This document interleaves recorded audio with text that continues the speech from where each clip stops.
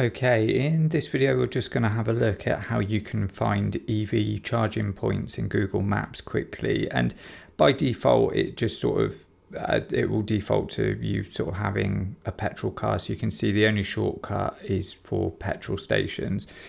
And you can go in and you can search for charging stations and it can work this way. You can kind of go in and you can do this but it's not a very quick way to do it and it doesn't do it specifically by the plug type that you might have for your car. So a quick way you can kind of go in and you can make this happen. If you just click on your profile up in the top right and then you'll just want to go down into settings.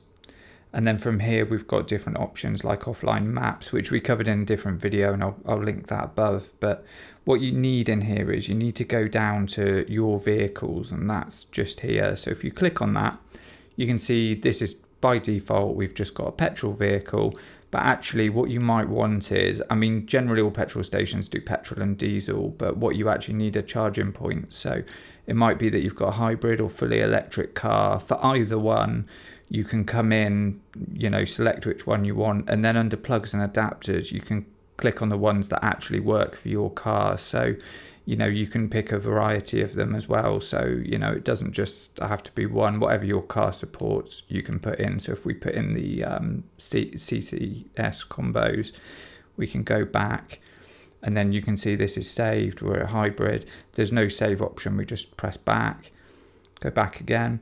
And now you can see our shortcuts at the top. If we scroll over you'll be able to see Oh, okay, it's not done it. Just a second. Let's just jump back into there. Go to your vehicles. We're down as...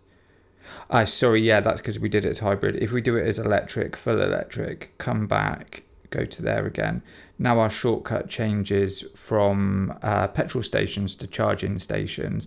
And then what you can do is click on this shortcut and then you can see from here it's given us all the places we can go to. But what you'll want to do is in the filter for any plugs click on that and go to your plugs.